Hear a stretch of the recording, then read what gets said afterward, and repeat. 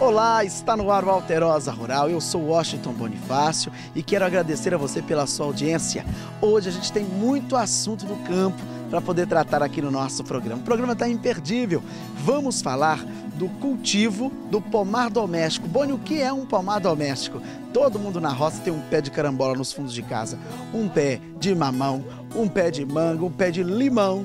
E aí, às vezes, aquele trem encroa, como diz a mamãe, e não dá certo, não funciona, não dá fruto. O que é que acontece, Boni? Você precisa saber fazer o manejo. Vamos explicar a você hoje isso na nossa reportagem especial. Tem também uma reportagem sobre plantio de alface. Você vai conhecer vários tipos de alface e como é que se cultiva esse alimento, que é uma delícia, né? Dá uma sensação de, de, de, de, de que o cara está saciado mesmo. É muito gostosa a alface, sem contar que auxilia na dieta, né? O cara que fica na base da, da, da alface e uma carninha, ó, fica magrinho. Eu tô nessa onda, tô tentando ver se consigo perder a barriguinha aqui, já comecei a, a comer o alface. Aí resolvemos colocar essa matéria para orientar a você. Então, não saia daí, porque está no ar o nosso programa. Está no ar o Alterosa Rural.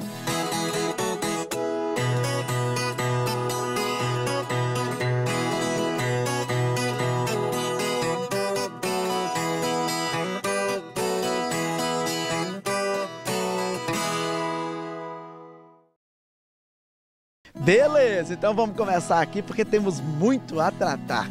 Vai aí na casa da sua vizinha, bate na porta dela e fala: Ô Fulana, Ô Beltrana, começou a Alterosa Rural, vem assistir comigo, chama a vizinha pro seu sofá, senta e acompanhe comigo agora, porque você que tem planta nos fundos de casa e essa planta que não dá fruto de jeito nenhum, você vai aprender como é que se faz o manejo. Gente, o manejo é, vai desde defensivos naturais, é uma série de coisas que você tem que fazer, uma série de cuidados que você tem que ter, que vão ser agora expressados na reportagem da minha amiga Carla Barros e também do repórter cinematográfico Moacir Barbosa.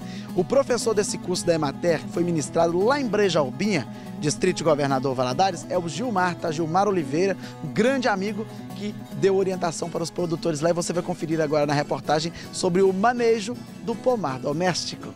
A simpática propriedade do seu Geraldo fica no córrego Serafim, em Brejalbinha, distrito de Valadares. É do pequeno pomar e da horta que ele tira o sustento da família. De tudo produz um pouco, mas é banana. Banana, laranja, a horta, a lista, né?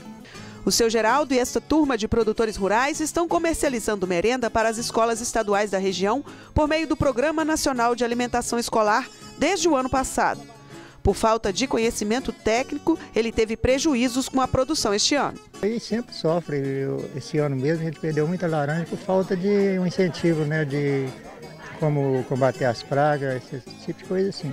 São um grupo de produtores que a gente está assistindo para comercialização via PENAI estadual e eles já apresentaram algumas demandas no manejo de praga e doença do quintal de maneira geral. No caso dele, muito específico, até na ocorrência de praga em citros e também no controle de algumas pragas em hortaliça.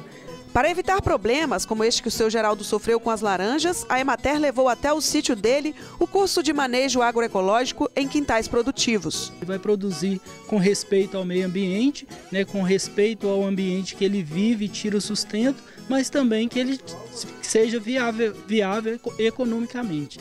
então a gente trouxe para aqui, né? Esse controle de, de praga associado usando recurso natural e trabalhando também muita questão do manejo de solo, principalmente no que diz respeito à fertilidade do solo. Porque o que, que a gente entende? Se a gente tem um solo sadio, onde eu estou trabalhando o manejo da vida desse solo, eu vou ter uma planta também saudável. Então esse é um dos princípios. E trouxemos também o tratamento de inverno em citros, né, onde a gente está realizando com eles aqui o preparo de pasta para esse tratamento, vão trabalhar adubação e poda desses pomares. 11 produtores da região de Brejalbinha participaram do treinamento. Foram cinco horas de aula divididas entre a teoria e a prática. Nós ensinamos a fazer aqui um, alguns estrados de planta, usamos aqui o estrado de ninho, que é tanto, tem ação tanto fungicida como inseticida. Estão fazendo também a pasta bordaleza, que é para pincelamento do tronco, a prevenção de doença no tronco, a gomose seria uma delas, e também para é, pincelar o local de poda dessas plantas para que serve como cicatrizante. E vamos trabalhar também trabalhamos a produção de uma calda que é, tem ação acaricida que, e, e inseticida de uma maneira geral, que é muito usado no controle, pode ser usada no controle da fumagina. Que a fumagina, que é aquele preto da, das folhas dos citros, embora é uma doença fúngica, ela se hospeda ali por causa de, uma, de um outro hospedeiro, de um outro inseto. Depois dessa aula, nada de perder mais laranjas, né, seu Geraldo? Agora dá para melhorar, né? Melhorar a produção e passar para a família da gente também, né? Alguma coisa que a gente está aprendendo. Olha a Zelinda aí, toda atenta e cheia de perguntas. A produtora do Córrego dos Venâncios não perde uma oportunidade de se capacitar. Ajuda muita gente aqui no meio rural a aprender coisas diferentes a manusear o solo, a, a manter a adubação, para ter uma, uma, produção boa, sabe? Tirar as dúvidas com das pragas que atacam as plantas, né? Então é muito importante. Nós mostramos aqui no Alterosa Rural que durante a exposição agropecuária de Valadares, os técnicos da Emater e alguns produtores rurais receberam o curso de fertilizantes. Hoje eles estão aqui repassando o conhecimento adquirido neste curso para produtores aqui da região de Breja Albinha. O objetivo é disseminar cada vez mais este conhecimento para toda a zona rural de Governador Valadares. A Gracildelli gostou tanto da ideia de replicar conhecimento que já quer passar o que aprendeu para os vizinhos. Nós temos é, plantas frutíferas, né? Um pomar que está muito assim, abandonado, cheio de pragas. Então essas pastas, essas caldas que a gente vem preparando. Aqui hoje é, a gente pode estar tá ampliando até para os nossos vizinhos que tem também, né? Fala assim, ah, minha laranja não tá boa, tá caindo tudo. A gente pode estar tá usando essas caldas. E muitas coisas a gente não presta atenção. Com essas técnicas que os agrônomos, né, a Imater está nos passando, a gente pode estar tá mais observando o que está acontecendo no pomar. Talvez não é no solo, talvez é só nas folhas, é uma praga ou outra. E aí a gente vai pesquisando. São muito comuns, né, a, a, a, tangerina, a laranja, o limão, e são plantas assim que a gente absorve que hoje são plantas que estão muito susceptíveis até pelas condições de clima e pelo manejo também que vem sendo adotado de forma errônea ou equivocada. Então nosso é, é, nosso propósito é dar a eles condições de fazer um manejo correto disso e ter um pomar mais produtivo, um citro que produza melhor com menos incidência de pragas e, e doenças. Ô, oh, beleza, mas é bom demais, hein? Agora o que vai dar de gente produzindo aí no campo, não tá nem escrito no gibi, como diz minha, meu povo lá da roça. Não tá nem escrito no gibi, o povo vai produzir mesmo. É isso aí, gente. Eu gosto desses meios alternativos, porque aí o, o cidadão não vai ficar gastando muito, né? Indo lá comprando é, é, produtos caros para poder aplicar lá no, nos fundos de casa, nas árvores que tem lá, né, nas plantas. Então você aprende a fazer produtos naturais aí e com grande qualidade. Muito obrigado, Gilmar, por ter nos convidado para ir fazer a reportagem sobre esse curso. A gente faz com muito prazer porque é a orientação que a gente multiplica. Ele orienta os produtores do curso e a gente multiplica essa orientação para milhares de pessoas, milhares de telespectadores que assistem o nosso programa. Vamos agora chamar meu amigo professor Alexandre Silvio, ele que é docente na Universidade dos Vales do Mucuri, Jequitinhonha, está vindo aí com o quadro Fala Companheiro tirando mais uma dúvida da galera. Roda na tela.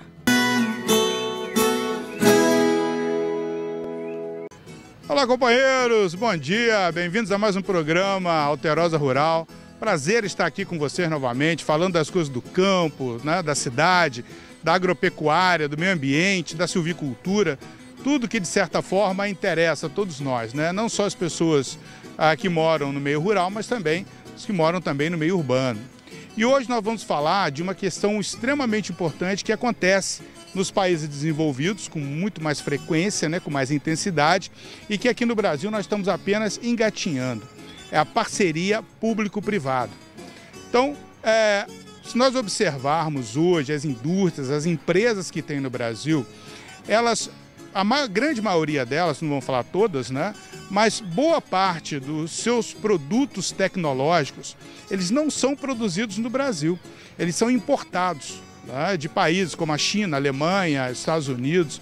Então nós somos um país importador de tecnologia. Né? Nós não somos, é, nós temos um, um, um perfil né, de científico tecnológico para desenvolver grandes tecnologias. Então, boa parte das empresas e de nossas indústrias acabam importando essa tecnologia, sai mais em conta para elas.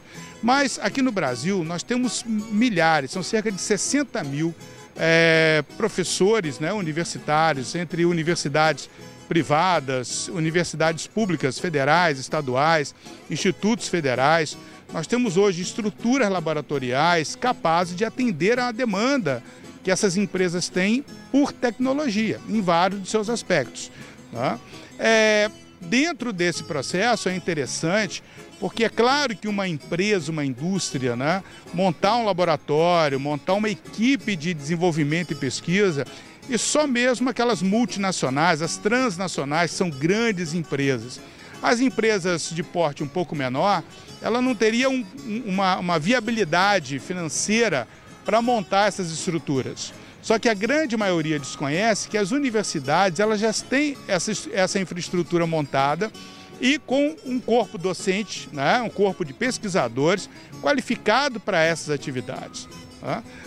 Um exemplo rápido. Alguns anos atrás, nós fomos procurados por uma empresa, né, a empresa Antares Ambiental do Paraná, que ela queria dar um destino com relação ao ácido sulfúrico que ela recolhia. Né? Então, é, após vários meses, chegamos a alguns anos de pesquisa, conseguimos desenvolver o gesso ecológico para uso agropecuário, é, reagindo o ácido sulfúrico residual de fábrica de baterias com a lama de cal, que é um resíduo da produção de celulose nas empresas. Com essa reação, produzimos o sulfato de cálcio e, com vários ensaios de campo, de laboratório, conseguimos desenvolver o ecogesso. Inclusive, nós chamamos de ecogesso corretivo, que ele não atua só como gesso, sulfato de cálcio, mas também como agente corretivo do solo, corrigindo pH e reduzindo o alumínio livre. Então, uma tecnologia que foi criada aqui no Brasil, né, desenvolvida aqui em Minas Gerais e que já está sendo comercializado no Paraná pela empresa Antares Ambiental, vendendo inclusive para o interior de São Paulo e interior de Paraná. E atualmente estamos fechando a última pesquisa, que é o gesso para a construção civil, que é o mesmo material, só que dentro de um processo diferente de desenvolvimento, de produção, para que ele possa ser adequado e atender às normas brasileiras, né, as NBRs brasileiras, para uso na construção civil. São produtos que já estão patenteados, mas produtos o quê? que são hoje utilizados e comercializados por uma empresa. Né? Então percebe-se que o Brasil hoje, nós temos pesquisadores, nós temos instituições públicas hoje no Brasil, é, universidades, centros de pesquisa, que atendem perfeitamente à demanda das instituições, das empresas privadas brasileiras. E o que, que acontece? Infelizmente, a grande maioria procura essa tecnologia fora do Brasil. Né? Prefere adquirir ela pronta, comprar ela pronta, do que investir nas universidades para desenvolver a tecnologia. Eles têm que perceber, né, é importante que o governo mostre isso para essas empresas, que o desenvolvimento tecnológico nacional, não apenas a empresa ganha, mas o país também ganha com isso. Né? O país ele passa a ser um país tecnológico, um país vendedor de tecnologias. E a diferença disso? Vamos comparar o seguinte: qual a, o país que mais exporta café no mundo? É o Brasil, maior exportador de café. Mas quem ganha mais dinheiro exportando café é a Alemanha, porque ela processa o nosso café e vende o café processado que agrega valor ao produto. Tá? Então, isso tudo nós temos que reavaliar aqui no Brasil, isso é muito importante, porque temos condições hoje no Brasil de desenvolver as nossas próprias tecnologias, atender a demanda das indústrias nacionais e até mesmo as estrangeiras que estão aqui. Tá? Agora, elas têm que ser tocadas com relação a isso, e é muito importante que o governo federal, que os governos estaduais, através de suas é, fundações de pesquisa, de, de, amparo à pesquisa, elas deem esse suporte e é, é, aproximem a empresa das universidades, ok? Então, companheiros, um prazer estar aqui com vocês novamente e até o nosso próximo programa. Até lá!